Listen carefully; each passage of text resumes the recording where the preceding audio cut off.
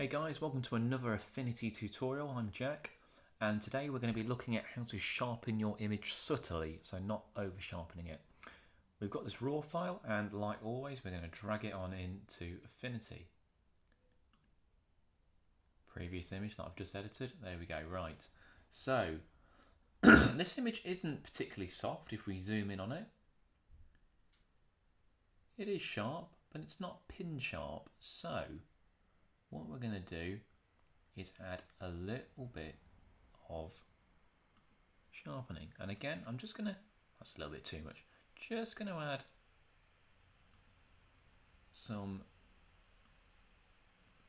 adjustments, just minor adjustments. There we go. I'm going to open this up into the develop mode. So we're going out of raw into develop. There we go. So the first thing to do is to create another layer. And I'm just going to duplicate to do that because I want the same layer. So this is my bottom one with the little padlock on. This is the one I'm going to be editing on. We're going to go into filters and sharpen.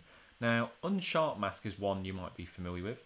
So is clarity, but I prefer the high pass one. So we're going to click on that. Now it goes grey. Now don't panic. That's absolutely normal and what you can do is adjust how much. Now obviously that's way too much. Now I basically go until I can just start seeing a little bit of colour. So I'm going to take it up to about 4, 4.2 and click apply. Now it's still grey so what you then need to do is go over here where it says normal and you've got soft light, hard light, vivid light, pin light. I typically go for vivid light. I like the colours on that one. Um, overlays is just is just to sharpen, but you can use all of these. And again, experiment, see what works. Uh, but we're going to go with vivid light for this one, as it's a kingfisher. And if we zoom in again, you'll notice if I compare it to when we started, that's what we started with. That was the grey mode. So started with that. Sorry. There we go. So huge, huge difference. However, I only want that kingfisher to be sharpened. I don't want the rest of it.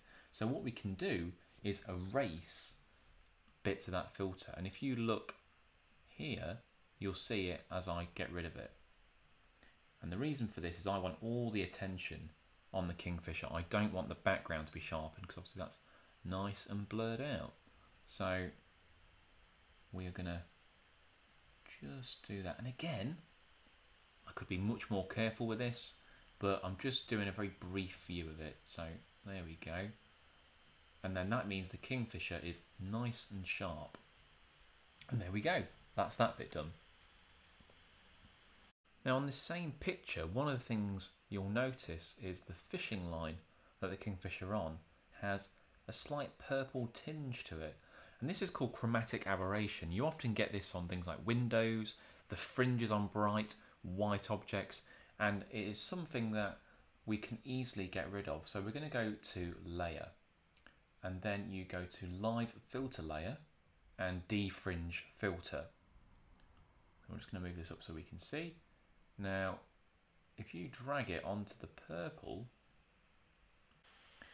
so just by tinkering you can reduce that purple massively. And again if we go back to the beginning we go here that's how purple it was before. This is what we've ended up with now. So just getting rid of that purple makes a huge huge difference. And now we have a sharpened image with no chromatic aberration. Hopefully that's been of use to you. If you enjoyed this video check out some of the other Affinity videos and I'll see you next time. Cheers.